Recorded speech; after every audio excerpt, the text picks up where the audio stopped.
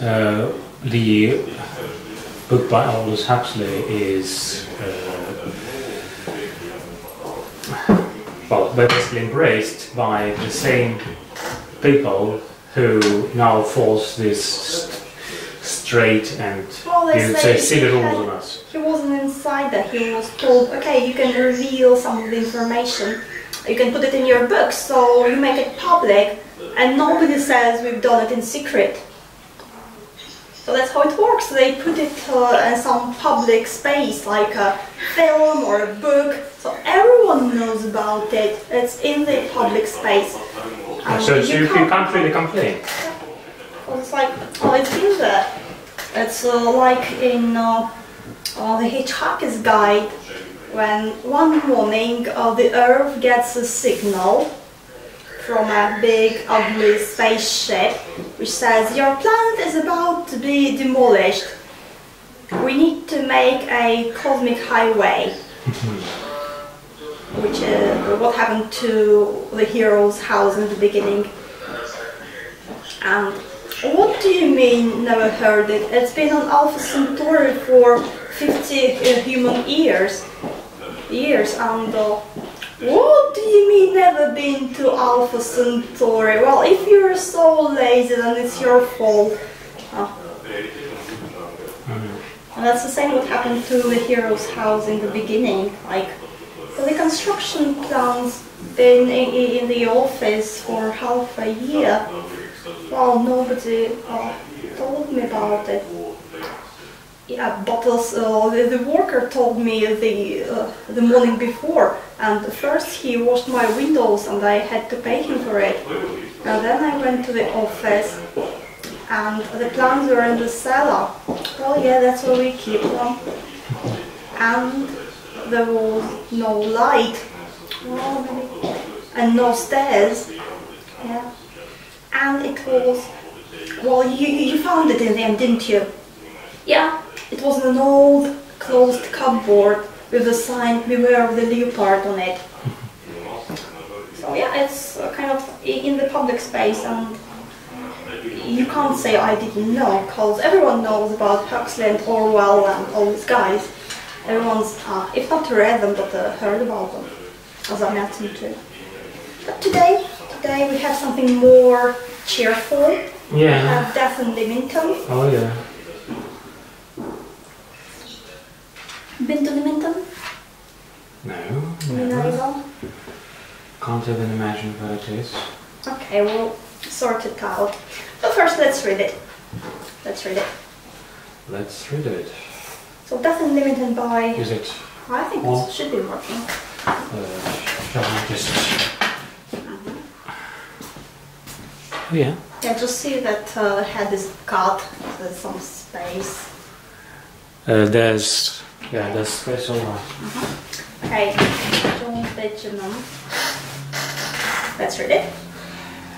She died in the upstairs bedroom by the light of the evening star that shone through the play glass window from over Leamington Spa. Beside her the lonely crochet lay patiently and unstirred, but the fingers that would have worked it were dead as a spoken word. A nurse came in with the tea things, breast high in the stands and chairs. But nurse was alone with her own little soul, and the things were alone with theirs. She bolted the big round window, she let the blinds unroll. She set the match to the mantle, she covered the fire with coal. And tea, she said in a tiny voice, wake up, nearly five. Oh, Tinsy, Tinsy cheeriness, half dead and half alive. Do you know that the stucker is healing? Do you know that the heart will stop? From those yellow Italianate arches, do you hear the plaster drop? Nurse looked at the silent bedstead, at the grey decaying face, as the calm of a Leamington evening drifted into the place. She moved the table bottles away from the bed to the wall and tiptoeing gently over the stairs turned on the gas in the hall. Ah, I really like this one. Yeah. Sort of reminds me of the listeners.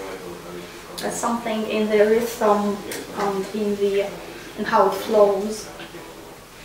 What's your impression? Yeah. Uh, What's your gets me, gets me shaking, sort of. Uh, is he parroting me? Uh, no. Uh, the and uh, yeah, it reminds of the listeners now that you mentioned it, and maybe maybe it's yeah, it's uh, something uh, really nice and uh, cozy, something that is typically English five o'clock tea. That somehow that some, somehow uh, turns out to be not what you really imagine. Uh, which is also which is also why we should probably remind ourselves that death is quite near, no matter what we think of it. Uh, and if I may just digress a bit, uh, it might also remind us to live each day as if it were the last day, which is, uh, I, I, I was, of course, uh, uh, in, uh, I was reading Vavilov's diaries, and Vavilov was a famous Russian scientist who thinks science is everything, and unless he does something scientific, he considers the day as being lost, and then he often reminds himself, live it as if it were the la- your last day. And somehow this poem uh, may resonate Yeah, with it, although, like although Tolstoy's diaries and letters, Yeah. where each time he finishes with like, "If I'm alive," by the time. Yeah, and uh, that, that, that, that's basically it. The problem, of course, is that uh, un, unlike Tolstoy or someone else, uh, uh, I can't really imagine what it takes to live each day as if it were my last day. Uh, what it takes, uh, and again, uh, people often people often uh, live their last day not even understanding it's their last day, and not, not this sort, sort of they can never imagine. Okay, it might be tomorrow, not today.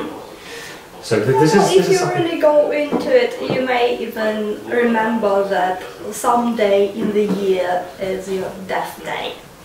You know your birthday and you celebrate it, or you don't celebrate it. Yeah. Somewhere there's The a left part of death the day. grave of your gravestone. You some people know. Some people know about the death days. Yeah. Some people feel it, especially poets. Yeah. Okay. And some saints. Mm-hmm.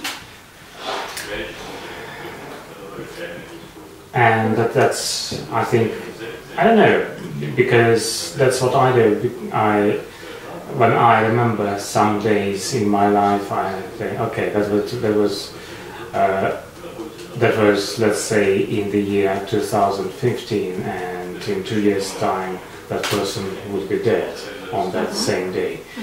So that, that, that's, I think, the connection that we often make. But let's get back. Yeah, but let's get back to- yeah. Because you can uh, muse upon the subject for a very long time. So let's limit ourselves to the space of the poem, which is more specific. Specific. Specific. So the title is Death and Leamington. Okay, death is a good word to put in, in title. Why Leamington? Well, uh, What's so great about Leamington? Well, the great thing about Leamington is that no one has heard of it, or maybe maybe everyone has heard of it except me. But I might imagine it's uh, something that no one has heard of, and it's something that sounds very English, very Yeah. either small and nice and uh, Which it is. It's a village in England. It's not big. yeah. So it's and again, uh, someone who's been to an English village, as you have, have you, have you? I you have. Yeah, yeah. yeah, uh, knows how it looks like. But even someone who hasn't been, as is the case with me, uh, is uh, well, it's easy to imagine how it looks like, and it looks it looks really peaceful, inviting, and cozy, and there's something something that's really that really is the opposite of death, maybe, or maybe, maybe it's it's quiet, or maybe it's quiet and Well, silent in the evenings.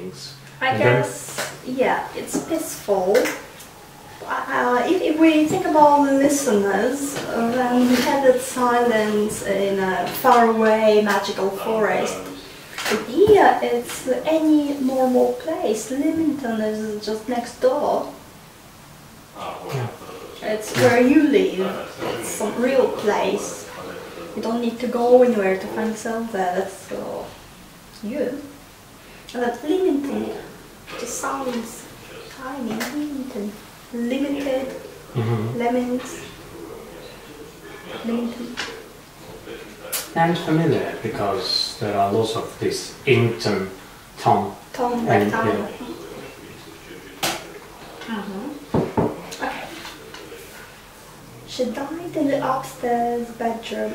We have uh, a few characters here. We have she, we have the nurse, we have the narrator. Yeah, so at least three characters. And uh, the question is, uh, where do we feel ourselves in the poem? Do we feel ourselves as the nurse?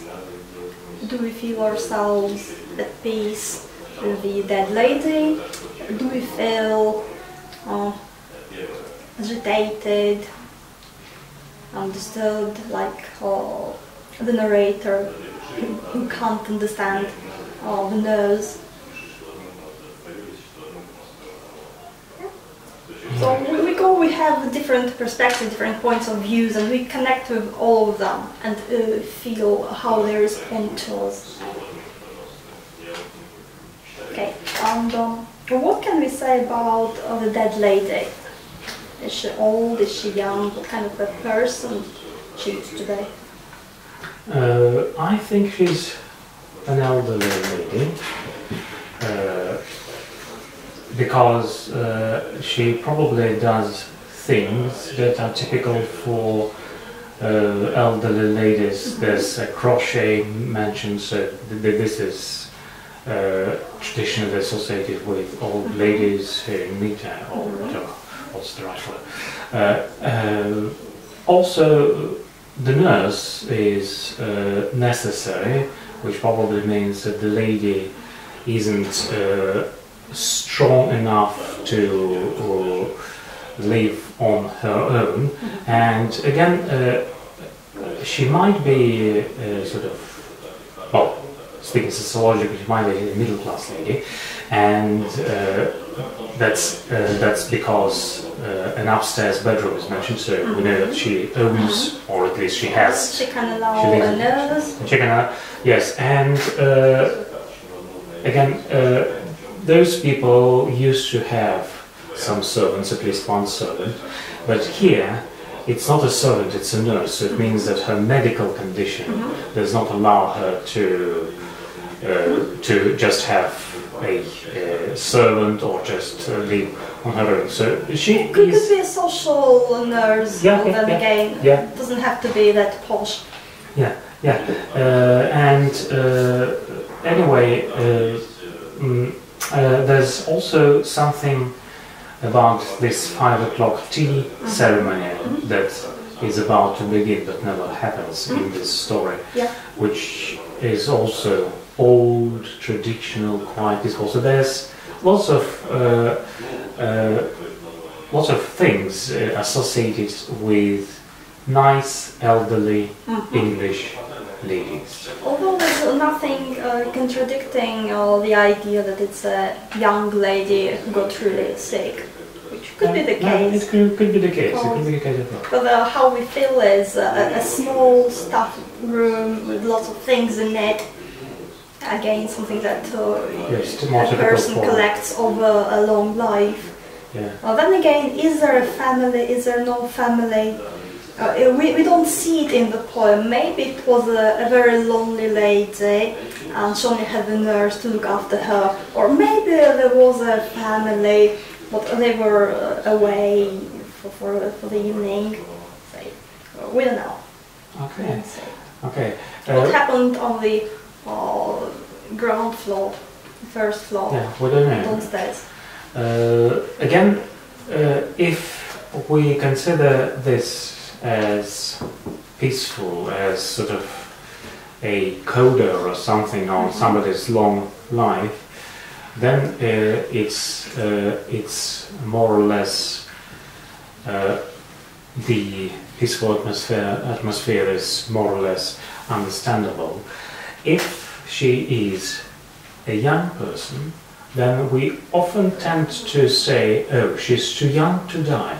And then uh, there would be something violent about it. Uh, But we have no mention of it in the poem, so we don't feel that way. we, we don't feel that way. So, uh, again, Then again, uh, how we read the poem can uh, change our uh, perspective. So on one hand, her death is peaceful. Uh, she's not fighting, she's not crying, she's not twisted, she's not in agony. Uh, she died, that's it. She died in the upstairs bedroom.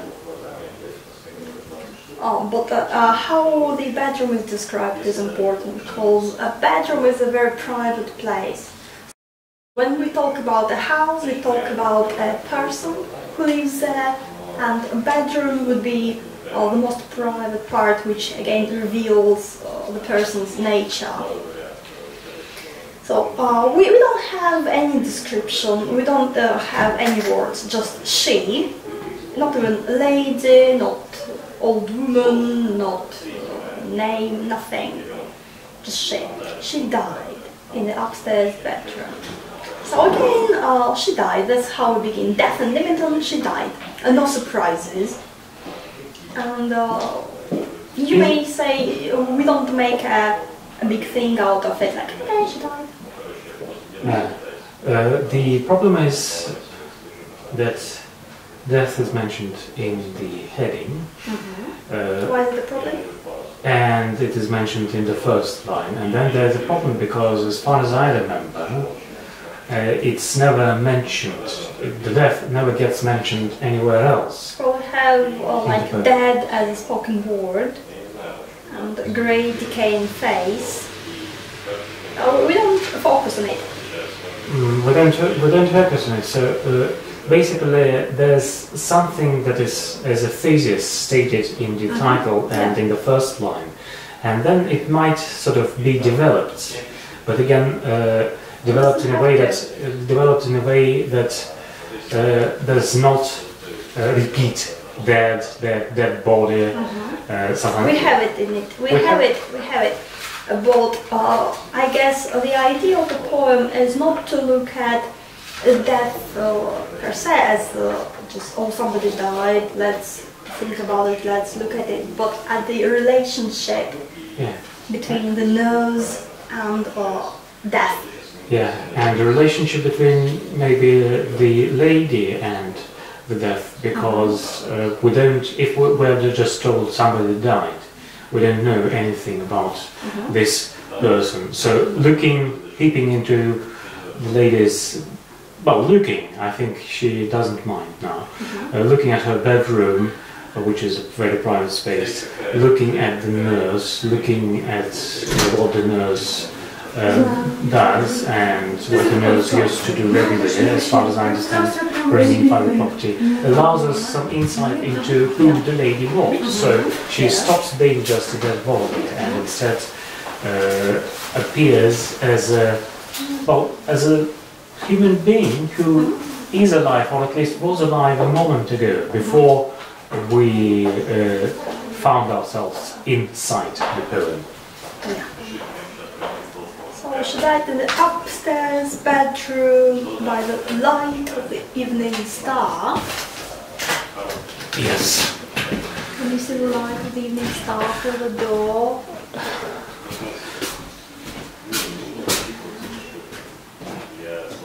The east wind. The wind is changing. Uh, someone, not a nurse but a nanny, is on her way to us. Maybe, not. Okay, so we have uh, uh, the settings which tell us it was a peaceful death, it was a good death in the sense that she's upstairs, somewhere up. Uh, because we have light, we have the evening star. Why do we need to have the light of the evening star? Maybe like a guiding star. Uh, maybe like a guiding star, maybe because, again, uh, there's something mysterious about stars, as there's a mystery about death. Uh, and uh, uh, it only seems natural that uh, evening means the uh, death of a day, and uh, when someone dies in the evening, lit by an evening star, uh, it's uh, it's uh, more or less peaceful because if you imagine someone dying in uh, bright daylight, again, this happens all the time, but uh, probably there's no harmony about it because I was present when someone died uh, yeah. in mid, sort of midday, uh, and there were people in the street talking, shouting, uh, going about doing their thing. So they lived very loud lives.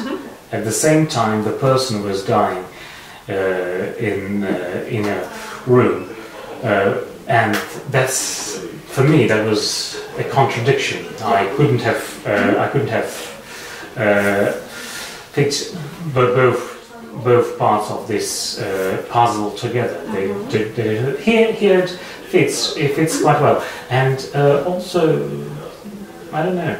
Uh, Evening Star is uh, there's something romantic about stars, and uh, uh, well, uh, there's something also.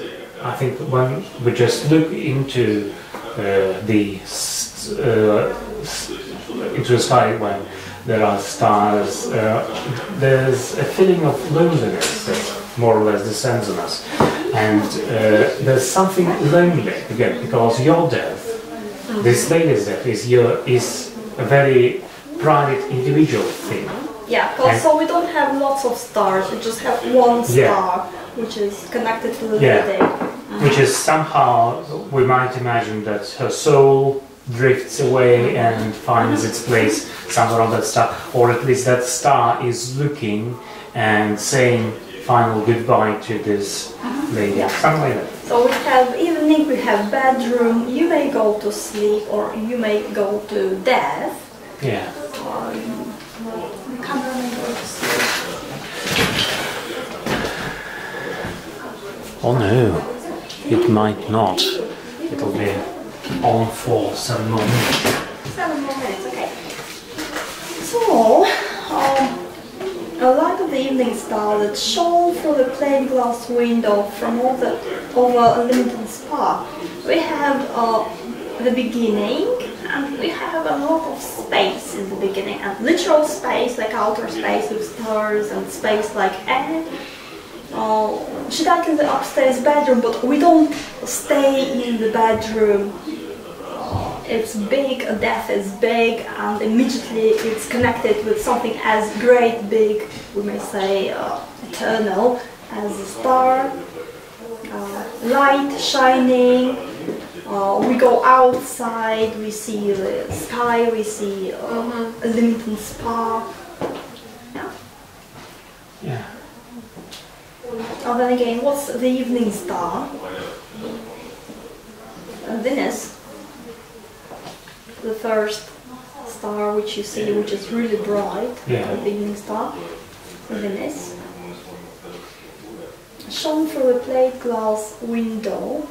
So again, we have uh, a construction. Uh, we have a private space which belongs to you again personally, which is your bedroom. Then we have a glass window, some opening, passage, and then we have the great big outside full of light, magic, space, air, uh, which you can connect to through that opening. So you have your identity, at the same time you're connected with the great big infinity. At the same time, we kind of place it in a real place, called Lincoln Spa. You can imagine it, you can see it, you can go there. So, on one hand, it's uh, magical, at the same time, it happens just next to you. Death. Yeah. And uh, why do they? Why does he mention the plate glass Is it just to make the picture more realistic to help us? Oh, When we- it's uh, upstairs bedroom, so apparently she's somewhere up in the attic. Maybe she's like one of those uh, forgotten old people who are put in the attic, like old things. So it's logical that uh, there would be a round window, a plate glass window, round window. Uh, I, I guess it's to show us uh, that the room is really small. It's just under the ceiling, not just upstairs. It's a small place on the ceiling. And we, we have that contrast uh, between a small, stuffy room and a big outside, a small life and big eternity. Oh, then again, you may say plate glass window is something around, and again reminds you of a circle, infinity, or something more natural than a square window. You choose it. Maybe it's framing the star more beautifully, round frame. Uh, does, does, it, does it necessarily mean that there are no other windows in the room? Not necessarily, but apparently, because we have the window, meaning it's probably Okay, the the one window. window. Okay. Uh, you can't really imagine a room with a number of different uh, windows, all different shapes and sizes. Apparently, if it's uh, the attic, uh, then that is what you expect to see. Just, just one round window. And again, uh, it's high. It's uh, same level as the star, in a way, in a way. But the star is outside. Mhm. Okay. Yeah. along the stars. Okay, beside her the lonely crochet lay patiently and undisturbed. But the fingers that would have worked it were dead as a spoken word. Maybe he says crochet to, to with worked it. I don't know. Now what do we have here? Well, we have something personal here. We did have uh, her bedroom, sort of, which was again uh, only partially visible Is to us. Okay, let's do, do a restart. Anyway, yeah, 50 seconds left, so it's about time. It's about time. Stop. And yes. Yeah. When we come back, we looked outside, we felt what was outside, the potential. Uh, then we are back to the private space, yeah. Yeah, And uh, there's this limby crochet is something that uh, well, a crochet is something that uh, she used. She worked as uh, the uh, writer says.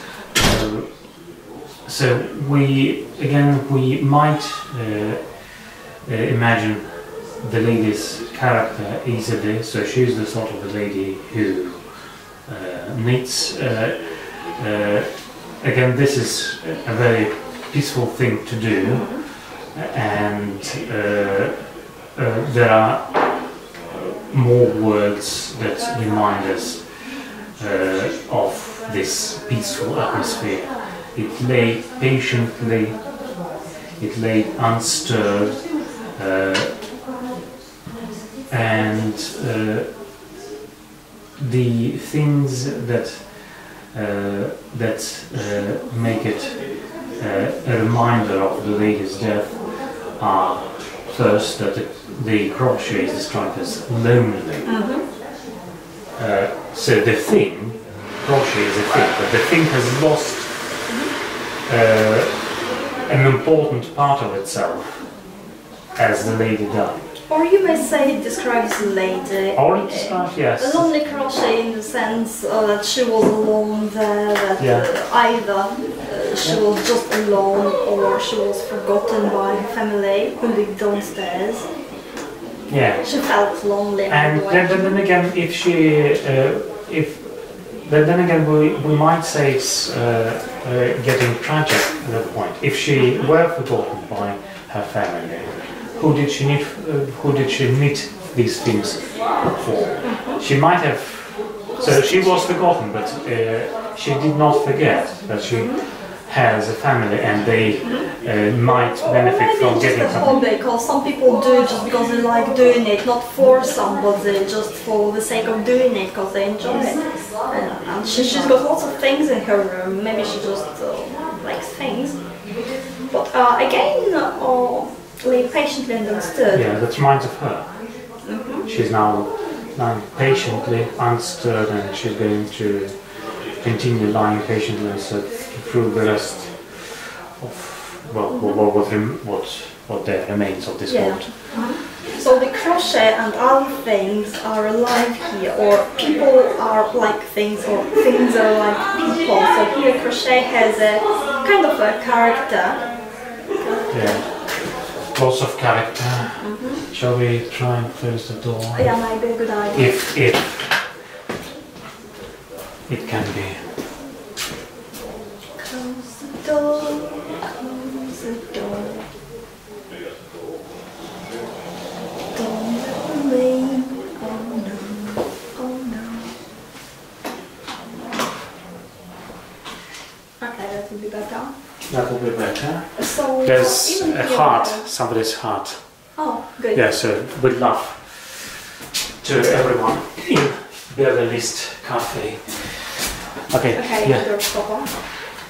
Um, the patient understood, yeah, like uh, it could be uh, the woman, could be her thing. Now, if we kind of look uh, closer, then why crochet? You may again uh, say, ah, maybe it's like a work you do during your life and it's unfinished because death doesn't care whether you finished your crochet or not. Yeah, again, uh, it's like, oh, I can't die today. I still have business to do. Like, um, okay, you, you can just forget about it.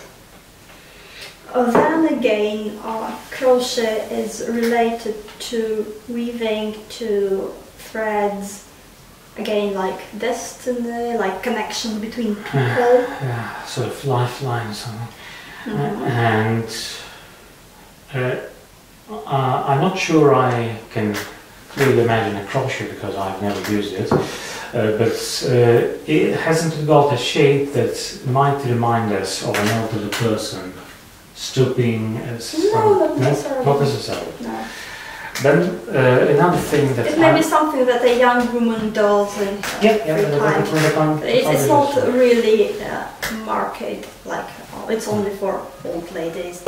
It depends on time, culture, the person, obviously.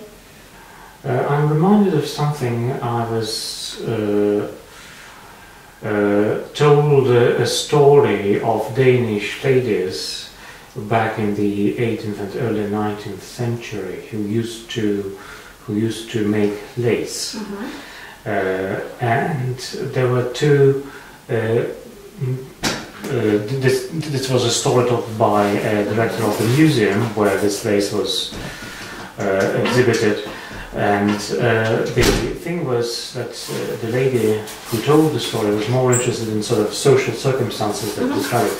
And uh, each of the lace makers, each of these ladies who made lace, uh, had a special book where she recorded how much lace she's done on a particular day.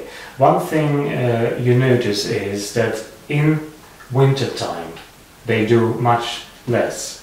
And It's darker. Because it's darker and they can only use Mhm. natural light or they might use a special lamp, but again in the 18th century Mhm. it's not of much help.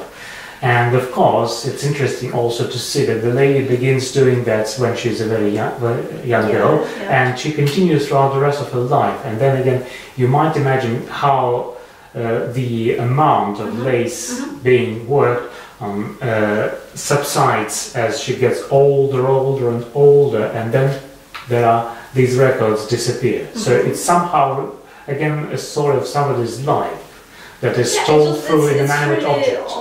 like visible, illustrative, because you can really see it. Of course, it doesn't have to be a thing. It can be just uh, any kind of work that you're doing. And uh, uh, maybe another thing that connects it, at least to me, uh, makes it this connection with lace is that lace disappears as machines are Mhm. introduced. So But it doesn't lace. disappear. Well, it's yeah, but it only exists as a hobby. lace. Yeah, as a Mhm. as a hobby, Mhm. at least in Denmark today. Well, I think it's a good thing, really. Yeah, it's, it's a good thing. Uh, well, it, um, but but uh, this is also true for this lady in this Mhm. in our little story, because uh, she does something that is uh, possible for a machine to do, but she prefers to knit it herself. Again, we Well, might imagine to Again, whom? no, not really. Not really. Not really, because it's not like, oh, I need to get some nice crochet. Uh, maybe I should buy it, maybe I should make it. No, she's, she sits in her room and nobody visits her except uh, the nurse who comes uh, maybe two, three, five times a day. So she has literally nothing to do. She has only a small window where she can only see a bit of the sky. Yeah, she can't see the street, she can't see people. She only can see a little bit of the sky from there, and we don't even know if she can see it from her bed. Uh, so we don't what but is she to do? uh, again, again, do we know that uh, is she is she really bedridden? Maybe she's not. Well, we can guess, otherwise, why the Why? nurse Yeah. and why uh, upstairs bedroom and the table Okay. bottles. Okay. Okay. Apparently, at least that's how we feel about it, about the uh, signs. hmm Again, uh, the crochet lay patiently, like uh, waiting for her to Mhm. come back and to continue. And in a sense, uh, again, there's kind of a double feeling about it. We have patience, we have peace here, we have calm here. We don't have like, oh no, she's dead! Oh, horror, horror! Uh, no, it's like waiting. At the same time, uh, maybe it's uh, about ourselves too, maybe we're not really patient, but we kind of have the idea, oh, death is not real. Uh, It's, it's like uh, he, he's not dead, he just went for a holiday, or she, in this case. So the crochet lays patiently like, okay, maybe not, not, not this evening, maybe next evening. I mean, I'm stirred. It's interesting because stirring the crochet uh, is, is uh, an unusual phrase. The fingers that would have worked it where that is a spoken word. Okay, fingers, you have worked it. Again, you may say that it's about uh, work you do in mm-hmm. your life. I think it's what called. Your that as a spoken word is interesting. Oh, what is your um,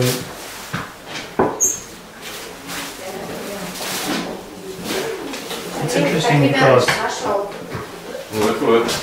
the spoken word is seen as a dead word, and yet what we have in here in the poem are all spoken words. Well, when we read it. When, when, when you when you read it, when uh, yeah, uh, and uh, does it mean that death is too big and too mysterious for someone who can only use spoken words to comprehend and to Well, describe? as an infinity in general, because it cannot be languaged. It's unlanguageable by definition. Because language is used to describe things, uh, or how we perceive things, what we make of things. Because obviously it's much more than a cup or tea or Yeah. Table. And if you say that each person who leads his or her life has his or her own language and what we have to do in order to understand that person is to sort of translate, yes, it's open again. Uh, We live in a habit hole. På common goal. We do need the sign like a billboard. what do we do?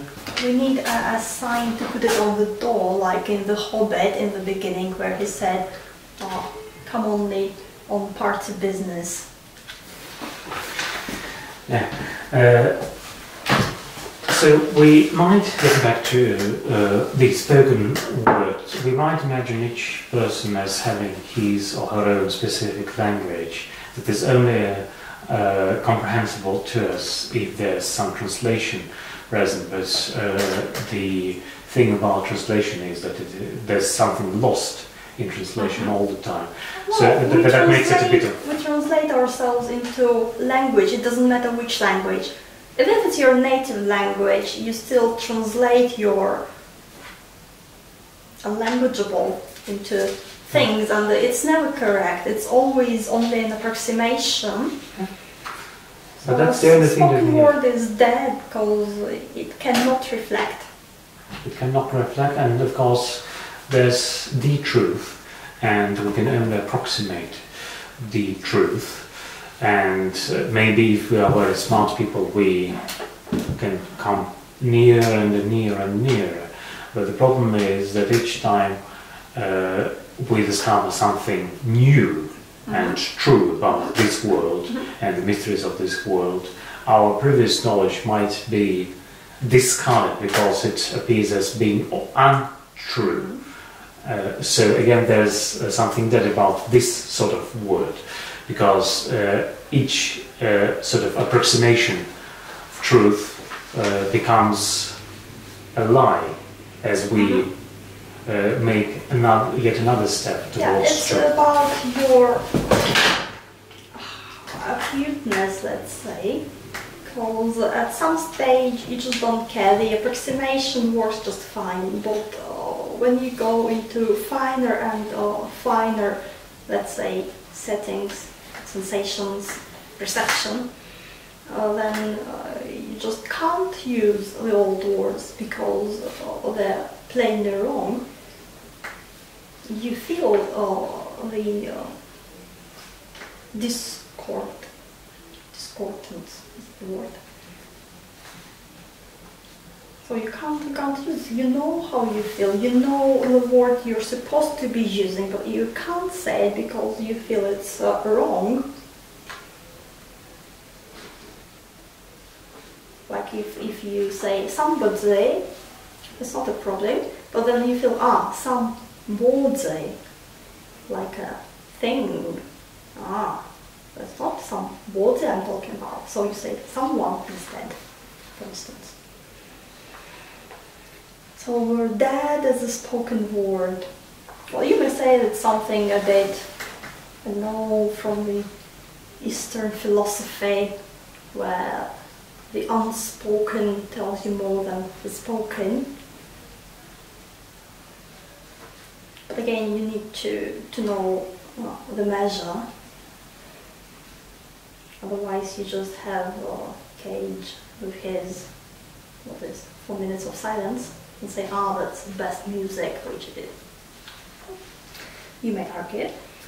But still, we have uh, fingers were dead as word. So fingers create work and word creates works. Well, now it's all dead. Mhm. Mhm. Okay. Now we have the nurse coming in. Mhm.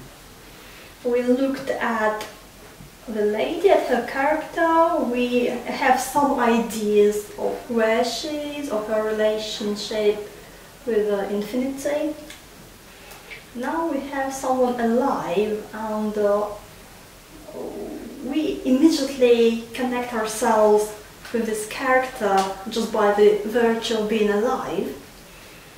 A nurse came in with the tea things, breast high amid the stands and chairs. But nurse was alone, her own little soul, and the things were alone with theirs. So again we have the nurse and uh, not uh, someone else. How do you feel about it? Nurse? Well, nurse, we are happy to see the nurse because she's the only, the only someone who's alive. Uh, uh, she appears to be energetic, breast high. Uh, so she no, no, no. She's not energetic.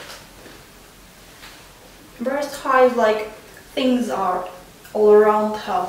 Yeah, yeah. So she I, has I to mean, swim through I mean, yeah, but still, she has that energy, uh, meaning uh, that's, and of course she has to because she's a nurse. Well, nurse uh, is uh, by uh, uh, by definition uh, someone who uh, uh, takes care of patients or takes care of uh, children, and. Uh, And has no life of her own. hmm Okay. Yeah. In a sense, in a sense, again, like um, when we looked at that uh, silly song from uh, Beauty and the Beast cartoon, like a, se- a servant uh, has no soul unless the servant serves something. so I guess she's one of those people who don't have their own uh, personality or ideas. But only exists as functions. Well, yeah, because we, we, her own little soul and she's like things. And again, a nurse is not like a doctor. She is important, obviously, very important, but again, you may say maybe uh, not that important. All things she does again could be uh, rather mechanistic.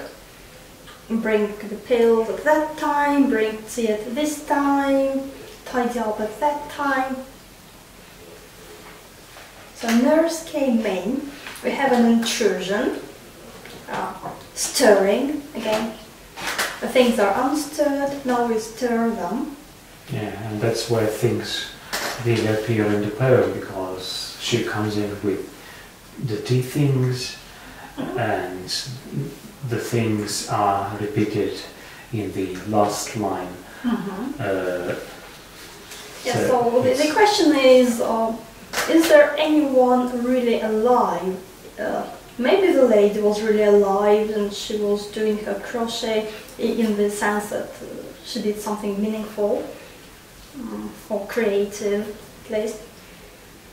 Well, not at least, creative, meaningful.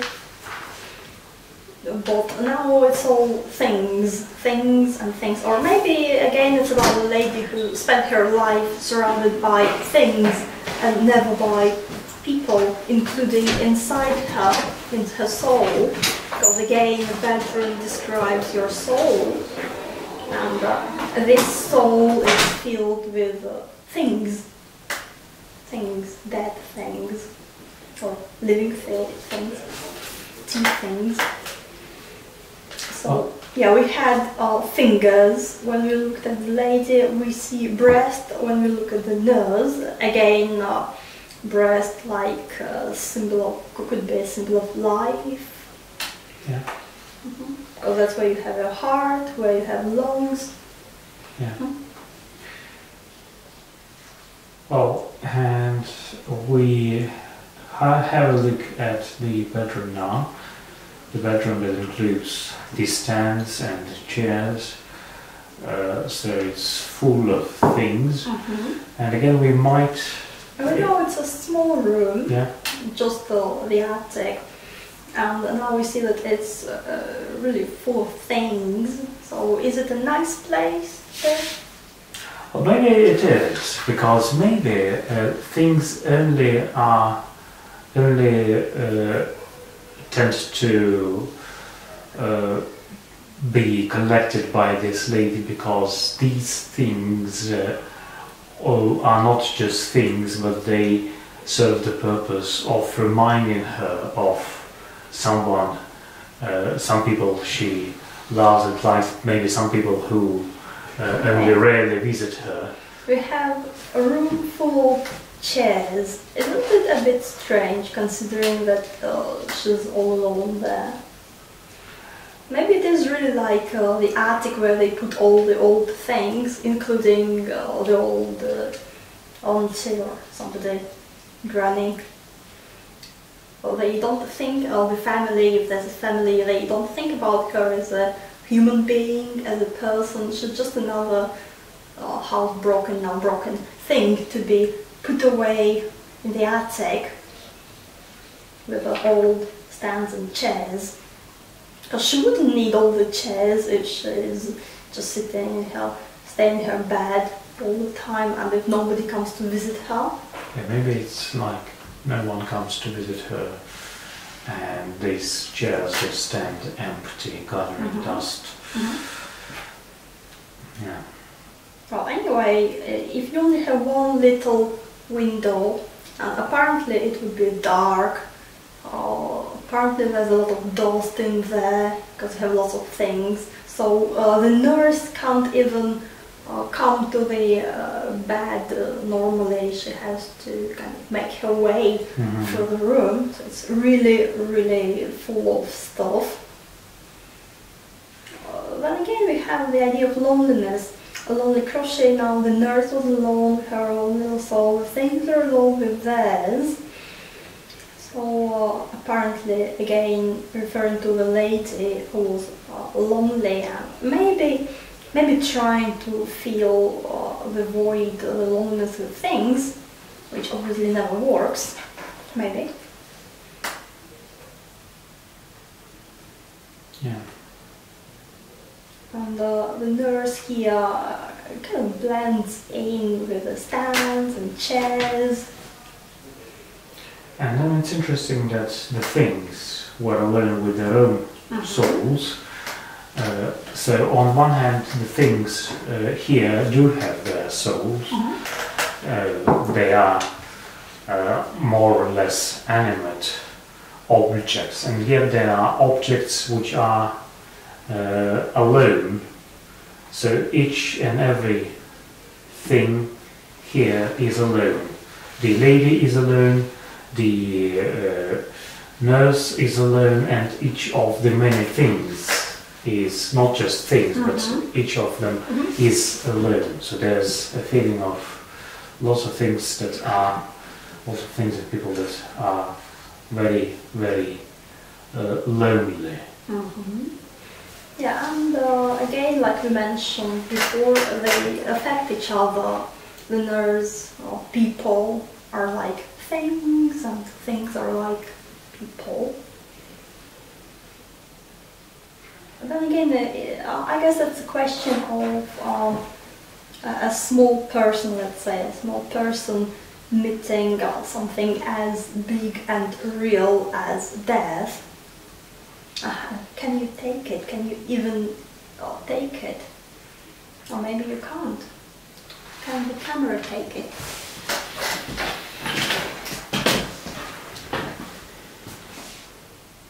Oh yes, for five more minutes, but let's Yeah. restart.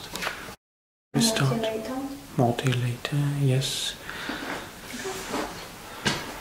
It comes in. So everyone is alone, and when you meet your death, you're alone, even if you're surrounded by things or Yeah. people.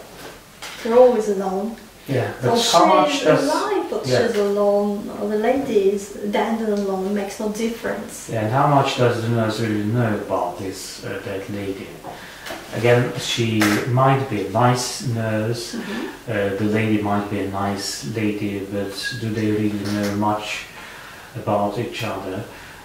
The lady, if the things are reminders of uh, the events in the lady's life, she can probably tell uh, their stories to the nurse, but is the nurse really interested? If she's not, then Mhm. the things are left alone Mhm. with their own souls because we we do it, it might be it might be a very bad thing to do but we often uh, attribute special meanings to things Mhm. uh, and then we, we might end up with lots of things that are only sort of uh, reminders Symbols. uh, symbols symbols and that Or might be images. yeah, and that might be sort of that might be a reflection of the fact that we only have symbols of Mhm. life instead of having Mhm. real Yeah. lives. Mhm. Yeah. Okay, so the nurse is also kind of nondescript. Uh, nurse and she and nothing else. Same as the lady is just she. So we have she, lady and she, the nurse, but just she. Uh, maybe there's no difference between them again, because she is she and the nurse is she and there's no description. Cause, and uh, there wouldn't be, because uh, the, the idea is uh, everyone dies eventually. So it makes, uh, again, no difference whether it's the lady who's dead or the nurse who's dead, and in a way, the nurse is already dead. She's not uh, living her life. She bolted the big round window. She let the blinds roll. She set the match to the mantel. She covered the fire with coal. So she doesn't notice that the lady is dead. Again, you may say it's too big to be registered in her mind, in her perception. It's too big for her. Uh, what does she do? So she, first of all, she attends to things first.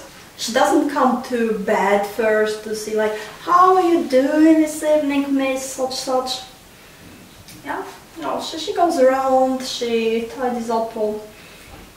Mm, she behaves like uh, she's uh, the owner, like uh, again, she's connected with things, uh, window, the blinds, the match, mantle. But what is she doing? Uh, we have the window, big round window, which was plate glass window before. Now we can Mhm. see it, uh, I know, better. Can we see it better? Can we imagine it? Yeah, and what she does to it Or maybe again it's plate glass, which is more interesting, but she just sees a big round window, which is less imaginative.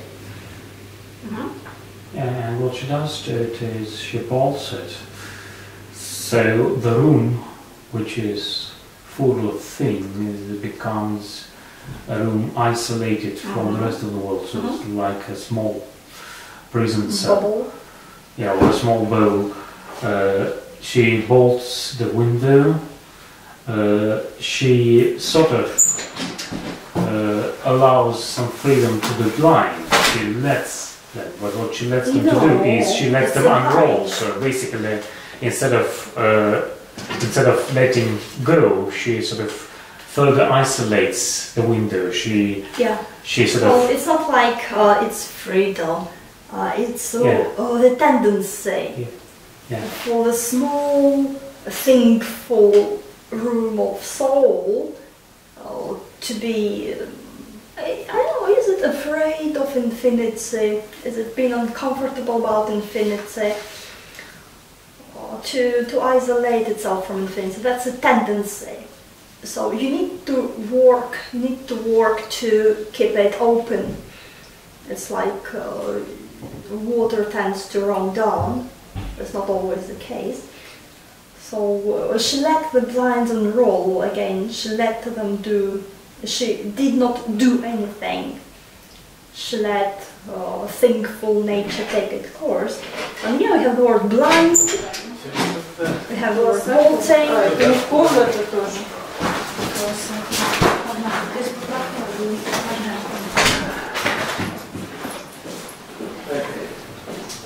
Oh yeah. Oh, good.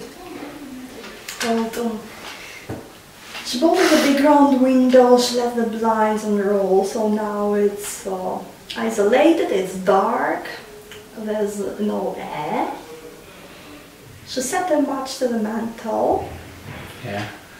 Which uh, means there's no air and uh, there's going to be very hot inside the room. And again, we don't know whether this is being done because the lady, uh, the dead lady, uh, used to like uh, when it was hot, or maybe it's because the nurse thinks it's much better for someone. Or maybe it's a program. That's what you do when you enter the room. Yeah. You just Yeah, so she, she's programmed to bolt the window. She's programmed to, uh, yeah. And uh, uh, the, the last line, she covered the fire with coal, fire which is alive and coal which is uh, dead. yeah. Again, it's a, a normal uh, like Yeah. tradition to, to compare. This is also down to the window because the window was a window to the world outside, and now it's covered uh, with the blinds and. Uh, Because on one hand, it's all normal. Uh, that's what you do. That's what you may do in the evening. Uh, cover the fire with coal again, something normal. But in, that context, uh, you just start speaking, just um, covering fire with coal. And uh, in a way, it reminds me of like Bradbury and uh, his uh, short story about an automatic house which just uh, continued doing its task uh, when uh, the owners were long dead. It was filling in the baths every evening, uh, making breakfast and dinner, and setting it, and then washing the dishes, and doing all that. It would it would continue until just uh, but it's uh, well, a thing, so it got broken in the end and uh, it caught fire.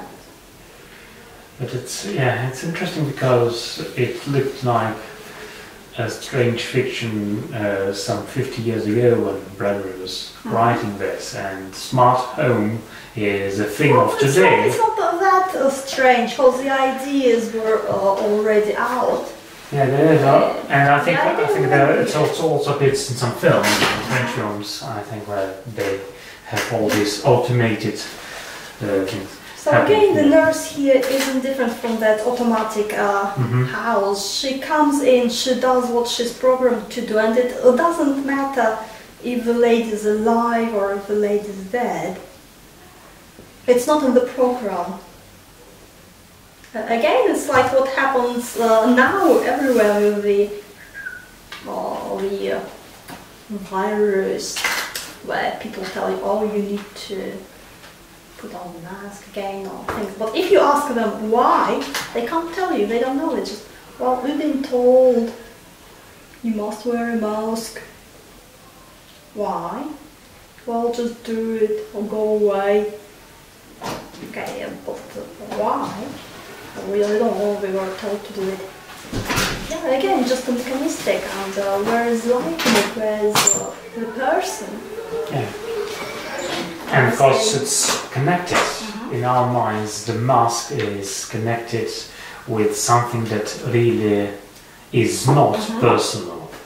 or uh, inanimate or not personal because the people Yeah. look all the same, they don't have faces. And again, a mystery, but a, a bad, tragic sort of mystery like the Iron Mask. Yeah. Mm-hmm.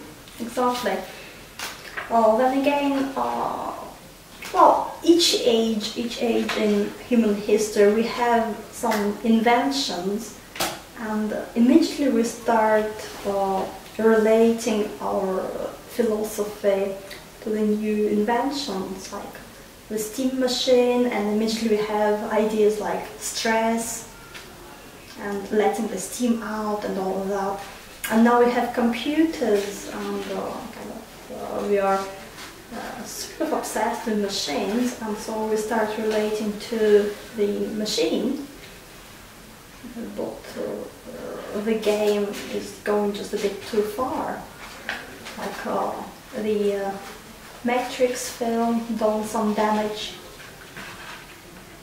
So now people think, oh maybe it's not a real reality, maybe it's a computer reality. Really, it, it happened the other way around.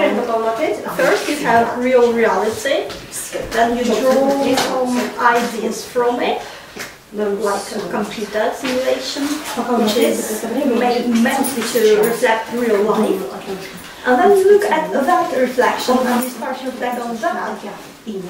So you get it all um, backwards, really.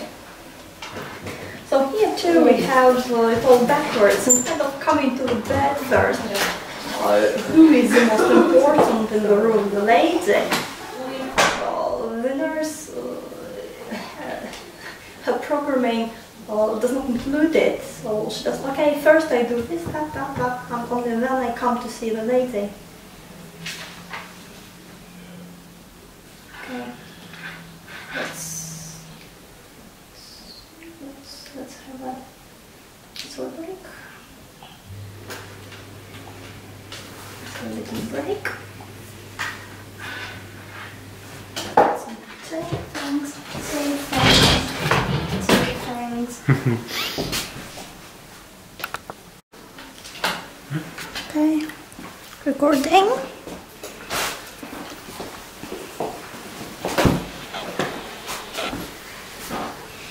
Tea things. Things. So tea again is uh, something regular, something programmed. Yeah, something programmed to happen at five.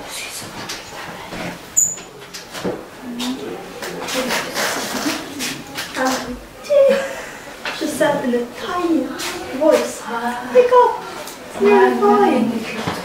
Oh no, it's not. Oh, Chintzy, Chintzy cheeriness, half dead and half alive. Yeah. Hmm, Uh, what video this is. I haven't tried it before.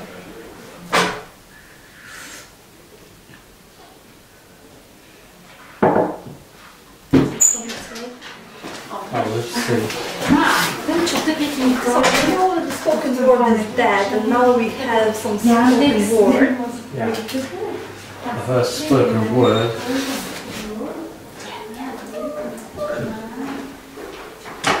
I need some telekinesis forces. Force. Or maybe there's there should be a chord or something.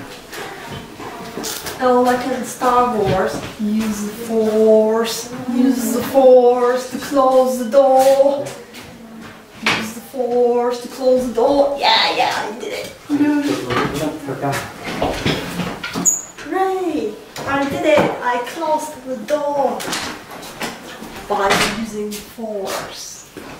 Yeah. I think we scared this lady to death. Because Oh, she couldn't that's even open another door. She was trembling. Okay. And uh, she speaks uh, in like tiny words and tiny phrases, which again don't really mean anything much. And again, we might say she doesn't begin by asking how the lady was. She immediately says see, which is In a tiny voice, like again, she is shy to speak. Yeah. Mm, and of course, uh, had she asked the lady, "How are you?"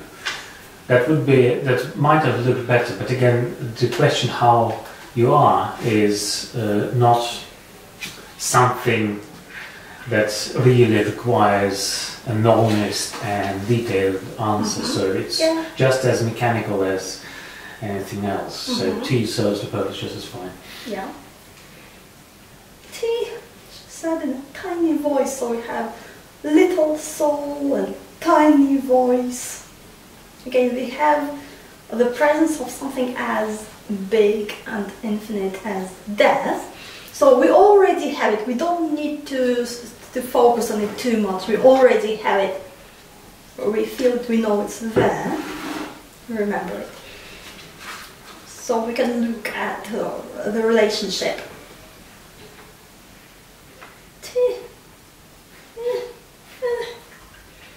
She said in a tiny voice, "Wake up! It's nearly five. So again, uh, like the crochet lays uh, patiently, like oh, sh- she'll wake up maybe next may- maybe next month. So here, uh, again, it's too big, too big to be even uh, seen, perceived. Uh, she looks at the dead lady and uh, she's like, well, she can't be dead. She's asleep. No, it's an ex-lady. Wake up, it's nearly five. So that's a very early evening then. So maybe it's winter. Maybe it's winter or late autumn. Because if it's if the evening star is out already and it's dark enough to close the door, the window and to unroll the blinds, uh, maybe it's winter. Yeah. Well, and let's, and, uh, yeah. that would explain uh, Yeah. fire. yeah, that will explain the part. Then again, it would mean uh, that uh, the lady was alone in a cold room before it. But uh, the fire went out, and again, nobody cared. Nobody came to look how it was going. Again. And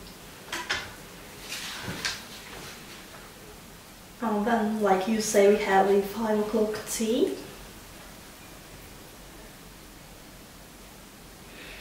And uh, if we consider it's the nurse, it's the lady who stays in bed, can't anything much, then apparently the lady is, well, wasn't well, and everybody understood that she didn't have much to leave. So we have it uh, cheeriness, like, ah, it's nothing, it's, it's nothing. Just behave normally, because to stop and to think would be too much for my program. Tea, wake up, it's nearly five. Again, uh, it was uh, apparently normal for the nurse to come into the room and to see the lady asleep, again indicating a, a serious illness. So um, you, could think uh, that uh, the lady's death was expected. It uh, hadn't come just out of the blue. The lady knew it was coming, the nurse knew it was coming, but uh, we don't know how the lady died. She, she just died. But uh, we can see that the air, the uh, surroundings, it's all peaceful and quiet. Yeah. But for the nurse, it's just like alien. Chintzy, chintzy cheeriness, half dead and half alive. That's where the narrator comes in, starting to comment. Because we could feel uh, how the narrator uh, related to it, how he felt about it by uh, the kind of words he was using. Now he shows uh, him uh, himself clearly. Oh, Chintzy, Chintzy, cheeriness. You can just feel him speaking it out. Chintzy, Chintzy, cheeriness. Oh, bless you. I didn't sneeze. What's Chintzy? Isn't it a word the writer invents? I never, I never really looked it up in a dictionary. I just thought it was something that only belongs to this poem. Well, Chintzy is like uh, you have a fabric, uh, like cotton fabric, which is like light fabric, and you have a stamped images like flowers, like uh, a little bit like uh, wallpaper Okay. uh, but on fabric. It's usually like bright little flowers with the repeated uh, Patterns. images, patterns. Okay. So it's uh, cheerful. It's nice. Maybe a bit too bright. Maybe not. Could be nice. Chintzy, chintzy cheeriness. So apart from it sounding like chintzy, you, you're chintzy. Oh. And apart from it being a funny word, what else is about it? Maybe it's kind of old fashioned. Because if you imagine uh, chintzy fabric, chintzy dress, uh, maybe you, you don't really see it on a young girl today. Maybe you think about old times, maybe. But I guess it's about, again, printed patterns, which are repeating something common, something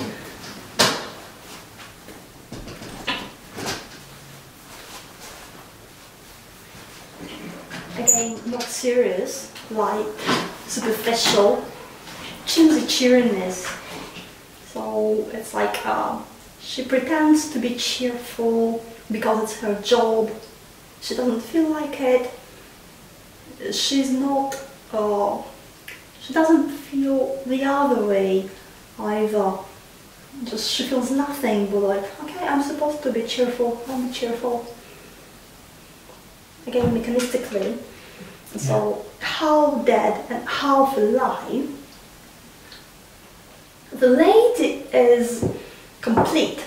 The lady is honestly dead. But the nurse is is in trouble really. She's neither here nor there. She's not complete. She's in between life and death. She's suspended. Suspended animation, as they say. Half dead, half alive. She can't uh, make herself whole.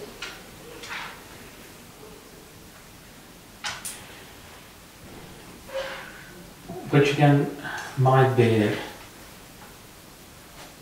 just a way to adjust to the situation.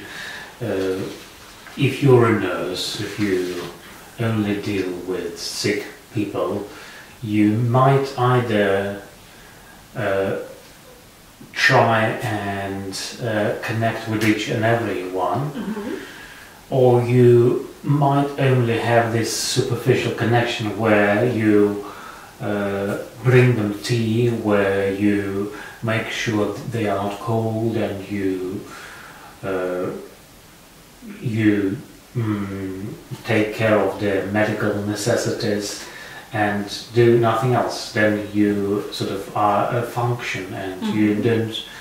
Uh, that's I think what they Well, call alienation. You're alien- alienated from the Kind of makes sense uh, in the sense of your health. yeah. because uh, you start picking it up without thinking about it.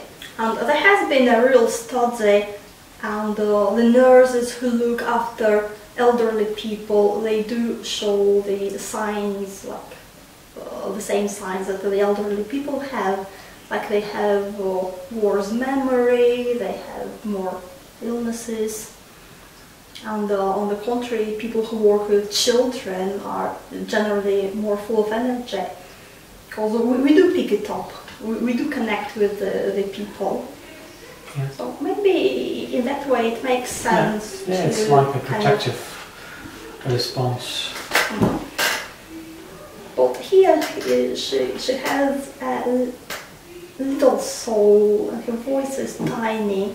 So maybe she just doesn't know how to be herself. So she's not dead, but uh, she's not really alive either. What's the secret of being to oneself? Oh, just be. Be like a bee. Be three, okay. Mm-hmm. Do you know the stock is feeling? So now it's just uh, him coming out from the shadow like a Gandalf. Do you know? From the cupboard. Uh, do you know where the stock is feeling? Do you know the heart will stop? From those yellow Italianate arches, do you hear the plaster drop? So like, are you present? And again, it's uh, why, why, why? Uh, will the nurse hear him? Why would he speak out? Because he's so much outraged that uh, the nurse would ignore something as big and obvious as the lady's death, even though the nurse's main idea is to see whether the person is dead or not yet. in, in a way, in a way. Yeah, so now he can't uh, keep silent anymore. He's uh, watching the nurse and he's just too full of this uh, indignation. Ah, you're how bad! Can't you see it? And uh, he talks to all of us because uh, we all find ourselves in that position where we prefer to turn a blind eye onto serious things and questions. We don't like to think about death. We don't like to think about illnesses. So the nurse is should be like a, a, a shaman, uh, someone who goes into death and sickness and uh, goes out and can come in touch, but uh, she doesn't do it. She's there, she's in that position, but she just ignores it. It's like, why are you doing it if you're not doing it properly? You're killing yourself. Nothing else. So he, he can't uh, watch her anymore. He comes out, and, but, but she never hears. Or maybe she does, maybe she does. Because uh, it's after his words that she notices that, oh, lady's dead. Oops.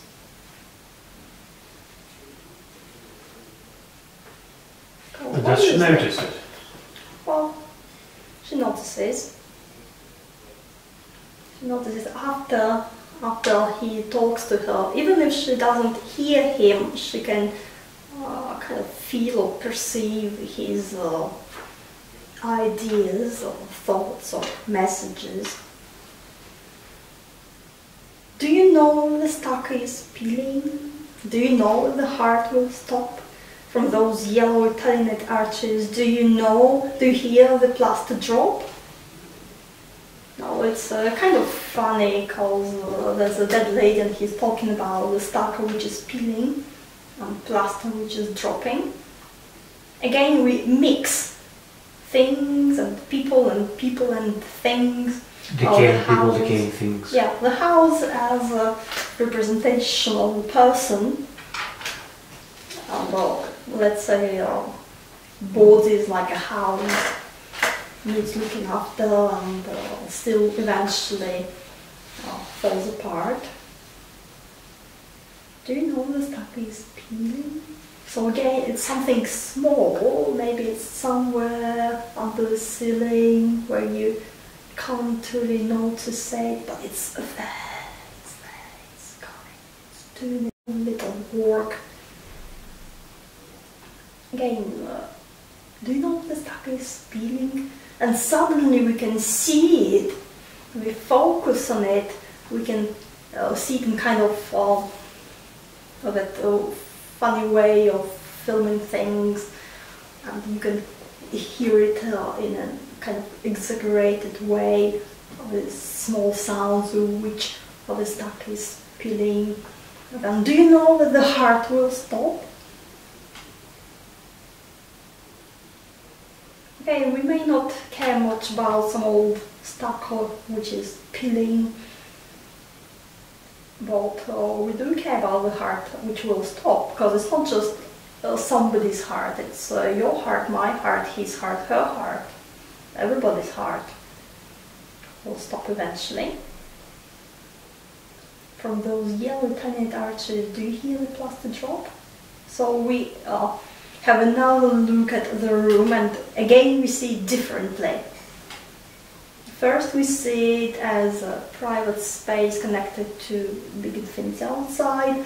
Then we see it's small, stuffy, full of things. Now it's uh, dark because uh, the blinds are rolled, unrolled. And uh, now we see that it's decaying. It's, uh, it's a bubble, but uh, the bubble is not eternal. The bubble is already deconstructing. Now, why do we need these funny words like stucco and uh, why do we need yellow Italianate arches? It's Leamington. It's not. Uh, it's not uh, too fashionable.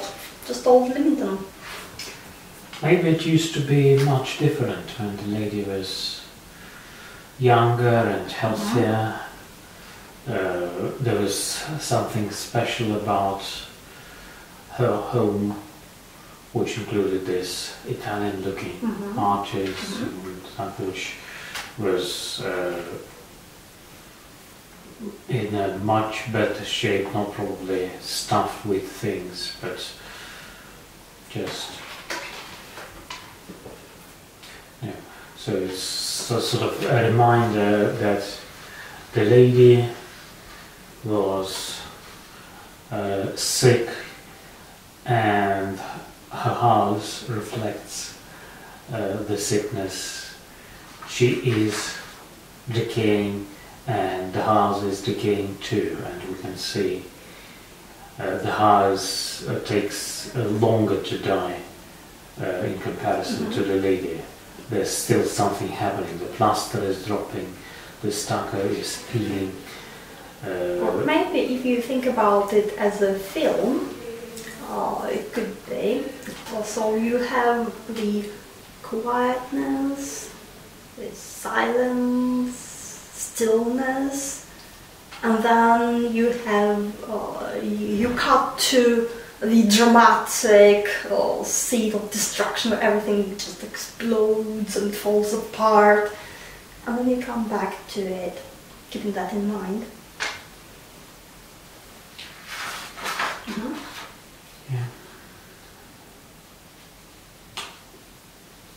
Yeah, maybe, maybe it used to be fancy, but it doesn't matter if it's fancy or plain, it all will end. Nurse looked at the silent bedstead, at the grey, decaying face, as the calm of a Leamington evening drifted into the place. So she, she heard the message, she finally, something changed inside her perception it took her some time to notice, to uh, accept she, it. does she notice? Does she really notice? Yeah, because she goes away. Uh, that, that doesn't she go away because she thinks the lady is fast asleep and she tiptoes later on down the No, hall and no. turns the gas down so that No, yeah, because look, okay. uh, nurse looked at the silent bedstead. Hmm. Okay, it's silent.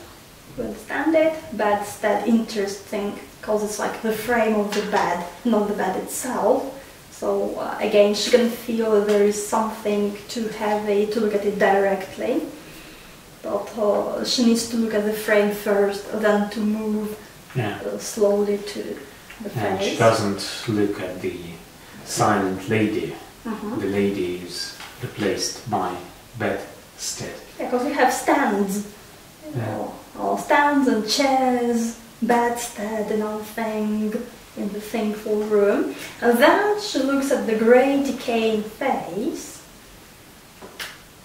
which is obviously like dead, because it's decaying. Doesn't mean that the lady was there for a long time, so that even her flesh started to decompose. The nurse never noticed the smell. Maybe. Then it's really creepy. Or maybe decaying in the sense of just, just dead and starting to decay in the sense that there is no life in it now. As the calm of a Leamington evening drifted into the place, so uh, she had the understanding, it drifted into place. And now the calm of a Leamington evening, or in other words, in that uh, context, uh, the presence of death, drifted into the place. Now it made sense. Calm of an evening is like death, yeah. So death is something uh, peaceful, natural, like the evening, and it drifts into the place, the same as. Uh, as when we think about the listeners, all the last lines and uh, the silence slowly surged backwards when the plunging keys were gone. A silence always comes back. So here the same, the calm of the evening comes back. Uh, you can't bolt away from it, you can't hide from it. You can bolt all the windows, you can unroll all the blinds, you can turn a blind eye to everything, it will still find you because uh, it's drifting, it's not substantial. So uh, you're trying to uh, separate yourself by using things like a bolted window or blinds, but that is not a thing, so it drifts through. It's everywhere like, like fog, like air. It finds you. The calm of a Leamington evening drifted into the place. Mhm. So it sort of drifts, it dawns on her, I think, and the calm that marks this uh, final quietness that is never going to be disturbed again. Mhm. Yeah, it's the same as in uh, the listeners, where uh, the man tries to disturb the silence uh, by uh, Is there anybody there? But uh, silence is just too big, and uh, all your attempts are just bound to fail. And here, she, she doesn't make even much sound, she says, "Gee, I can't. And uh, that's all she says, that's not much. It's again a little mouse. And of course, she uh, just can't uh, be much to the calm of a Leamington evening. It's much, much bigger than her.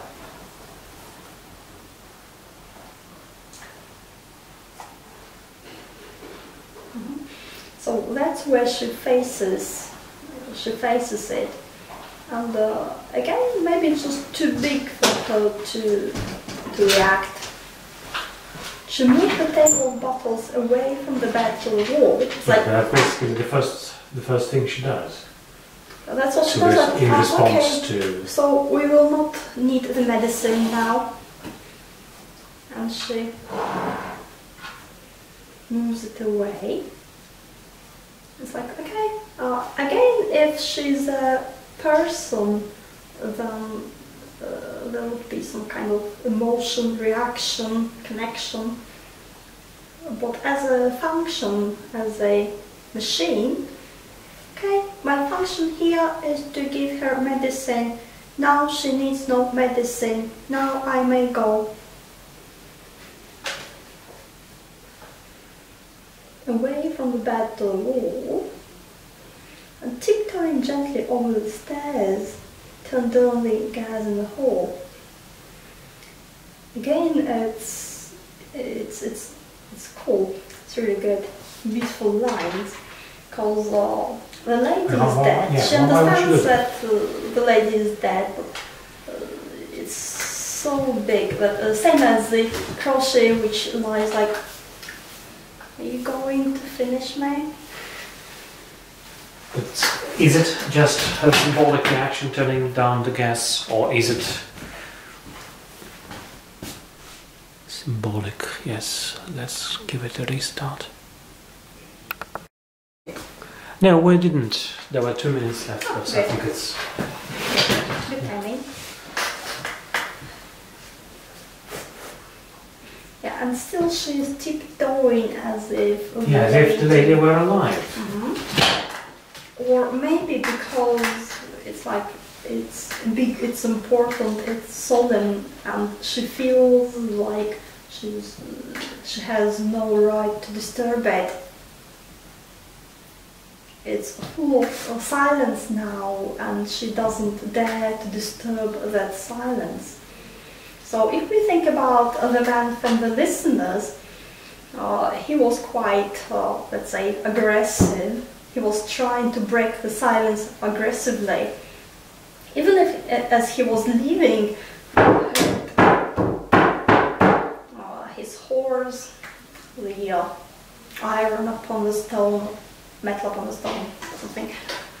Uh, he was trying to the last to to show who's the boss.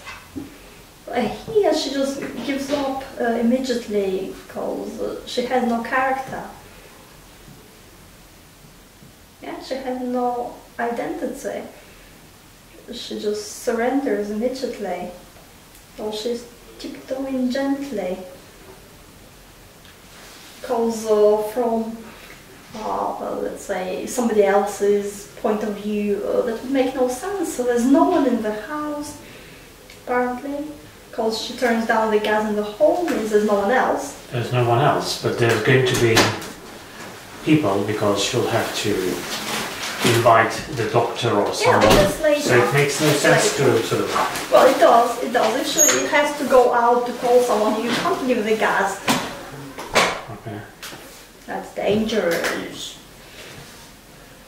But still, we have that uh, oh, attic, uh, the upstairs bedroom, which now becomes a sacred place, place where deaths happen. Uh, kind of a portal again. And we have downstairs where we have normal life. So that again we have uh, the map of the world in here. We have a private space which is on the level of stars, uh, which uh, can be open to it or uh, you may try to bolt and blind it. And then we have uh, downstairs where you just have normal life, it's so-called normal. And that's where the nurse is, uh, uh, that's where she belongs to. She comes from there and she returns there. And again, apparently she doesn't want to be connected to the upstairs. Tiptoeing gently over the stairs. So she is uh, impressed, she can feel it, she feels something, but uh, again, it's not processed, it's not digested. It's still alien to her. And maybe she'll make sense of it uh, later, we don't know, we, we can't see it here. But she, she's had the contact and uh, maybe that changed her. And then of course the, the last line turned on the gas in the hall. Like uh, now we have no light, we end up blacking out. Yeah, nicely. and it's over. Yeah. Uh-huh. So for the lady upstairs, uh, there's no downstairs now. It's dark. Again, uh, the, nurse first uh, said to march to the mantle, cover the fire with coal, mm, keep the fire burning. Okay. And now she turns down the gas.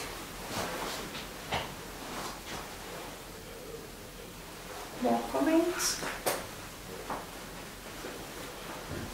So, So in, in general, Death in Leamington, uh, again, something small, a small place and small people, and uh, a small place in the sense that it's a small village, small place in the sense that it's a tiny room, and uh, small people here, lost among things, and they face something, some nothing like death. So what happens?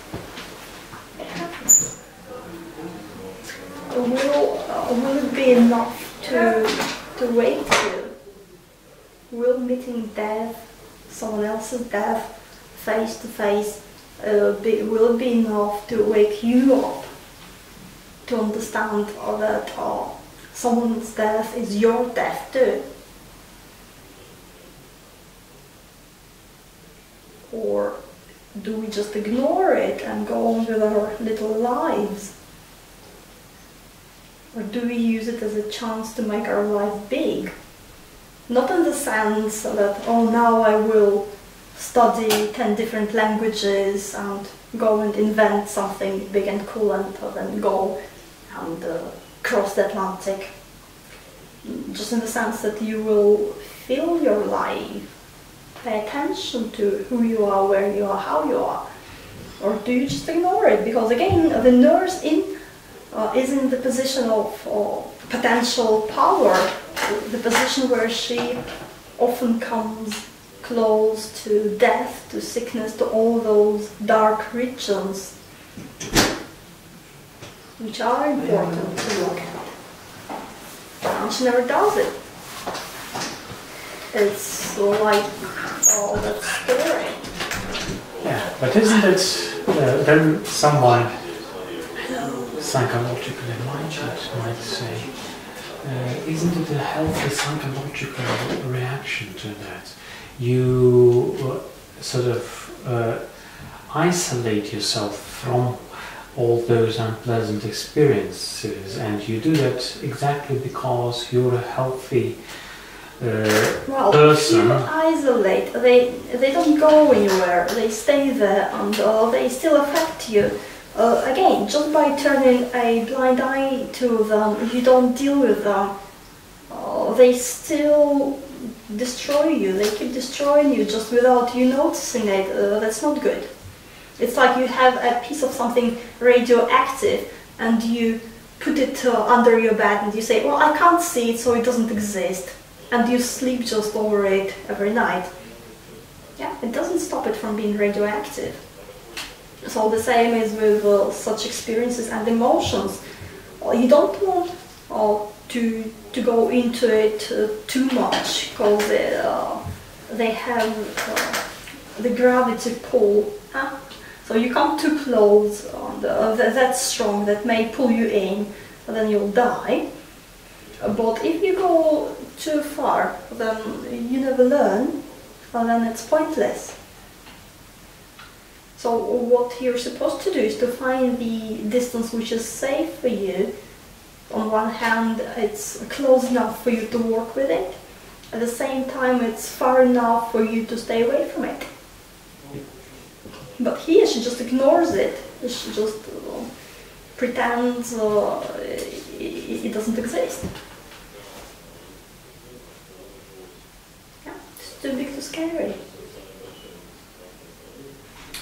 Oh yeah, they like to say there's people who write books about death and dying You our culture, our culture needs to, oh, yeah. everybody's dead, everybody's dying, uh, but you can't ignore it either. We do have to keep the balance, see happy things, light things, airy fairy, childish, and the dark things. Uh, two sides, they have to be balanced.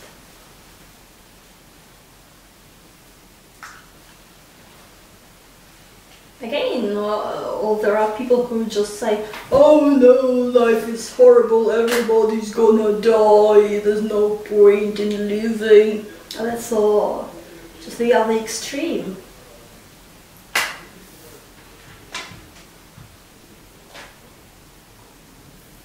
Here we need silence and what do we do?